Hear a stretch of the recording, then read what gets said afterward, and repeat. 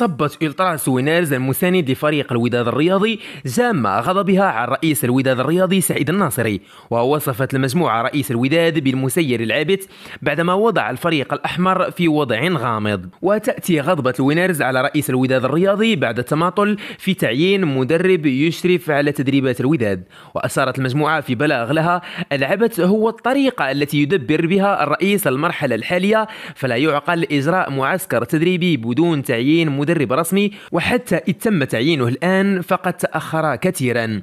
وأضافت لا يعقل عدم استغلال فترة التوقف بشكل مثالي وتصحيح اختلالات بداية الموسم التي كلفتنا ضياع لقب قاري مهم وهو السوبر وانتداب لاعبين قادرين على منح القوة للفريق خاصة على مستوى الهجوم. وتابع البلاغ ذاته أزيد من 25 يوم والفريق يستعد بدون مدرب رسمي يتم تعيينه بوضوح.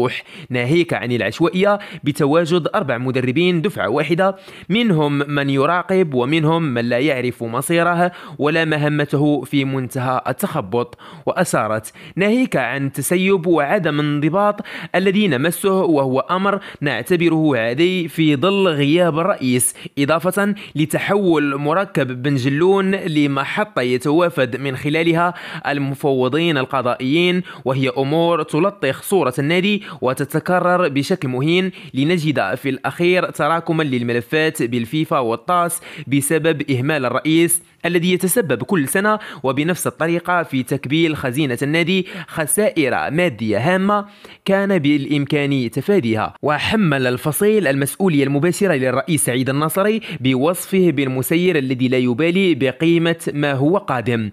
وختمت المجموعة بلاغها بالقول رسالتنا واضحة وهي الإسراع بتصحيح ما يمكن تصحيحه ولو بشكل متأخر. فما سيقع هو مقامرة غير مدروسة وغير محسوبة العواقب من طرف الرئيس. مقامرة قد يدفع النادي ثمنها غاليا إذ لم يكن بالفعل يؤدي ثمنها من الآن.